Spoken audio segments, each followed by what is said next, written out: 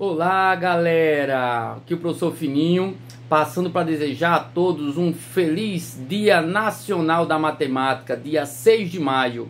E hoje, dia 6 de maio, é comemorado o Dia Nacional da Matemática em homenagem ao professor Malbatarran. Na verdade, o professor Júlio César Melo Souza, que ficou conhecido como Malbatarran. A obra mais é, conhecida dele é o livro o Homem que Calculava, tá certo? Mas não é o único livro dele. Na verdade, ele escreveu mais de 50 livros. Escreveu livros, livros romances, como é O Homem que Calculava. Escreveu livros para professores, tá certo? Então, é bem famoso. E ele faleceu em 1974. E quando foi em 2004, foi proposto esse Dia Nacional da Matemática. Lembrando que o Dia Internacional da Matemática é o dia 14 de março como em inglês se escreve 3 do 4, então em homenagem a Pi.